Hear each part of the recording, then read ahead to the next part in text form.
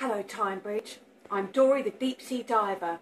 It's my mission to sail around the world to explore the seven continents and five oceans. However, I have a problem. I don't have a map to show me the way.